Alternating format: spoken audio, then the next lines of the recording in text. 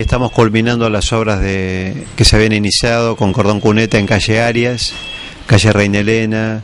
eh, calle, o sea, los peines de Cané, todas las obras que se habían hecho en relación a el bajo nivel eh, de Gleu. Eh, el bajo nivel de Gleu estaba muy bien conectado hacia el sector este-oeste, pero no tenía, no estaba cosida la conectividad con los barrios de